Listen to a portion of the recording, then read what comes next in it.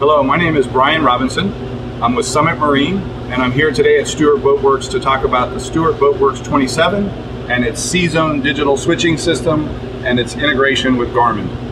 On this particular boat, we have a switch panel that includes push button switches, and we have two Garmin displays that are fully integrated with those switches.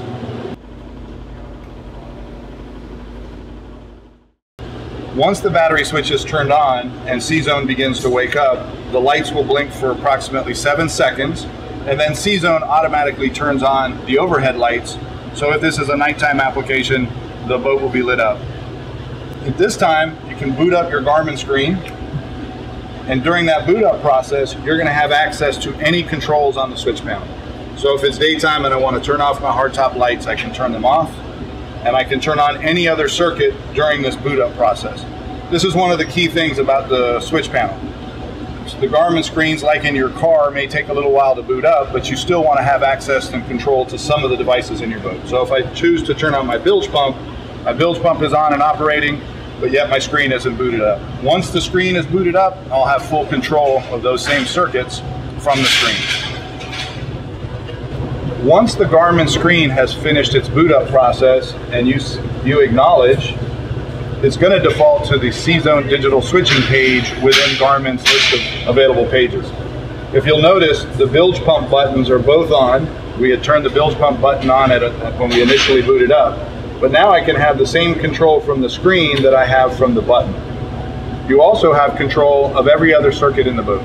So if I chose to choose to turn on another circuit, in this case I'm going to turn on my bait well pump, I can turn it on from the screen, and as we did with the bilge pump, the switch on the panel is also going to be on. They work together and are in full control of the circuits. In addition to this page, we've got switching available to you on your chart pages or your combos.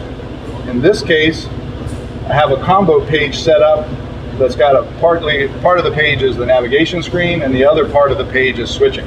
So again, if I choose to turn on something from the screen, it's going to work the same on the switch panel. So now I can turn on and off those same circuits together.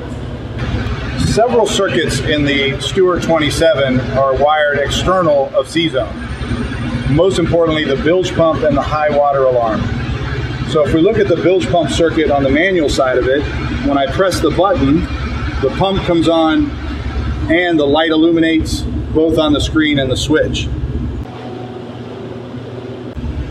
Once the manual side of the bilge pump is turned off, the indicator light is going to be focused to the automatic side of the bilge pump. So when the automatic bilge pump comes on, the small green light will illuminate. This indicates the automatic bilge pump is on, completely external of CZone, and connected directly to the battery as a conventional boat In addition to circuit control, CZone also provides circuit protection. It's a program feature within the system, and the goal of this protection is to shut off the electrical circuits in the boat before they actually blow the fuse. There is a fuse in the system that acts as a backup, but the goal is to allow the operator to turn on and off circuits when they blow from the helm. So in this case, we're going to mimic a overcurrent fault condition when we turn on the overhead lights. So when I go and turn on the buttons, you're going to see the lights are going to try to turn on, but that flash was they tried to turn on and their current surpassed what, the, what our automated circuit protection was set at. So immediately on your screen, you get an alarm that's going to say overcurrent fault hardtop lights. And the associated button for hardtop lights is also going to be blinking, indicating that that circuit is in a fault condition. So if I press OK, I'm going to acknowledge the fault from the screen, and now I can try to turn the light back on, but if the light overcurrents again, it's going to shut it off, and you're going to get an alarm at the screen. So again, the goal here is this is a circuit protection feature, acts just like a fuse. We have a redundant fuse built into the system but this is going to keep the operator from having to go figure that out. CZone provides some unique circuit control features. One of these is scrolling, or we call it sequential switching, where you can use one button to select several circuits or scroll through a circuit. In this case, we're going to start with the hardtop lights. If I turn on the hardtop lights with one push, they're going to default to their color. If I quickly turn them on and off, they're going to default to the next color. But now with that same button, while the circuit is on, if I hold it down, the light is going to begin to dim. When I release my finger at that position, the light will stay then at that dimmed level. If I hit the button again and hold it while it's already in a dimmed position, I hold it, it's now going to increase the dimming all the way back up to full or until I let go of the switch. If I could choose to turn it off, I can use that same button to hit it, let go quickly, and the light will turn off. Next time I turn on the switch, the, the light will default to its original color of white. In addition to sequential switching, we have a scrolling option where in this case the spreader lights, we have two separate circuits, a forward and an aft spreader lights. So with one button push, I can control those two separate circuits with this one button. So if I turn it on the first time, I'm turning on the forward spreader light. If I hit that same button again, I'm now turning off the forward spreader light and leaving the aft spreader light on. If I turn that button one more time, I'm actually turning both lights on. Last button push will turn them both off. So what we're doing with one button is cleaning up the dash not having multiple buttons, but allowing you to control each of those circuits individually with the same button. Although the Stuart 27 is completely digital, the battery management side of things is a standard on-off battery switch. So we have three batteries, three battery switches. The top one is your house battery switch. When you turn that battery switch on, the system wakes up, CZone's on, and you have power to the boat. In addition to on-off battery switches, the Stuart Boatworks 27 comes with the option of a smart remote parallel switch.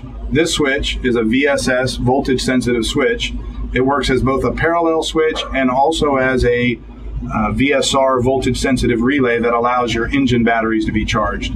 In its basic form, we've got a parallel switch. If you want to combine the house with cranking batteries, you press and hold the button down, and these battery switches are going to turn on for 10 minutes. This would be an application where your cranking batteries are low. You want to access your cranking and house batteries together so that you can crank your engines. After 10 minutes, these switches are going to automatically shut off.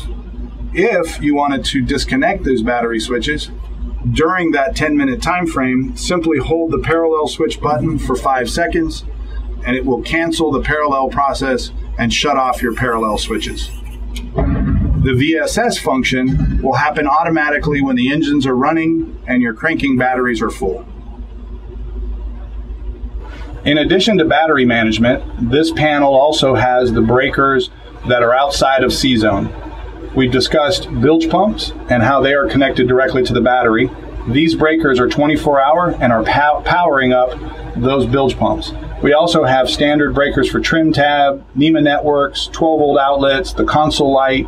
So this portion of the system is a standard analog system before we get to CZone. The CZone components are installed and kept inside of this cabinet and are being powered off of the CZone breaker.